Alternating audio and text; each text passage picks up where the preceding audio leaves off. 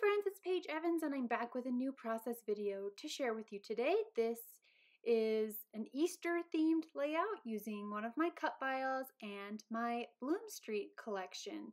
So I knew I wanted to watercolor over this intricate design and so to prep my background I'm using white gesso and a cool scraper tool by Vicki Boutin and scraping the gesso across this white textured cardstock background. And this will help absorb the watercolors more, help them blend together more instead of just bleeding right through the cardstock. I'm attaching it to the Cricut mat and then letting the Cricut do its thing, cutting out this Easter egg cut file and then carefully peel it off the mat because it is so delicate. You want to take your time making sure it doesn't tear as you are peeling it off the mat. If there's any pieces hanging on, I just use a little paper piercer to poke those pieces on through.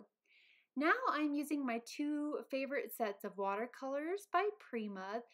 The top one is called Pastel Dreams and the colors are perfect for Bloom Street, which is very pastel colored. And the bottom tin, it's cut off here in the picture, but it's called Tropicals and the colors are more vibrant and tropical.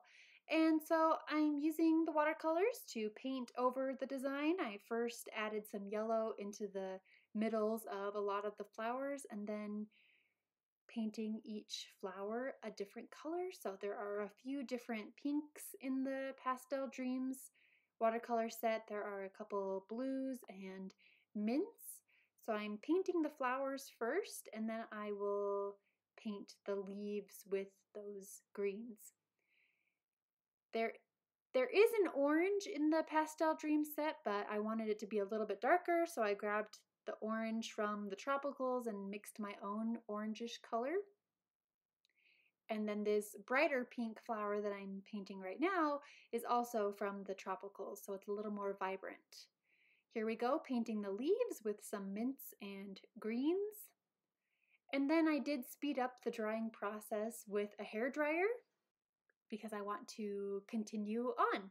I'm using this greenish bluish watercolory paper from Bloom Street, trimming off the tab, and then I rotated it 180 degrees so that the blues are on the top instead of the bottom. So it's like the sky, and then the greens or the grass is at the bottom. So that worked out nicely. I'm using some quick dry adhesive to attach this egg. I only put a little dab on some of the flower centers and on the leaves and at the top of the egg because I want the cut file to have dimension and lift off the page a little bit. I'm using this photo of Fox and Jane from Easter 2019, so last year's Easter.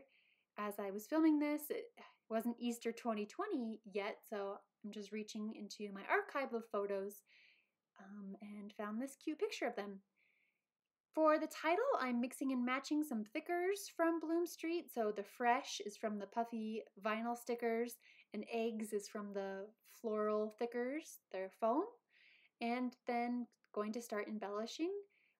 So I'll frame the title with a few different kinds of leaf die cuts and stickers. So again, the leaves will be from the puffy vinyl stickers as well as the floral die cuts. There's a package of leaves in that set.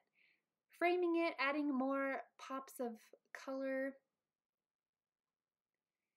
And then I want to ground the egg, if that makes sense. So I'm going to do some fringe strips, cutting a piece of cardstock first, just into a wavy line, and then using fringe scissors to add some texture, kind of like Easter grass. But I also want to add some green, so I'm grabbing in another sheet of the same paper that I used for the background, trimming another wavy line into it, just eyeballing it, freehanding it, and then I want two pieces, so I just trimmed off that other side with my paper cutter, and then fringing those two pieces of pattern paper as well. So then I will sandwich them or layer them together down at the bottom and use double-sided tape to attach them in place. I thought about using a sewing machine to stitch them down, maybe I was just too lazy, I don't know, but double-sided adhesive worked great. And then you can use your fingers to make the fringe even more prominent.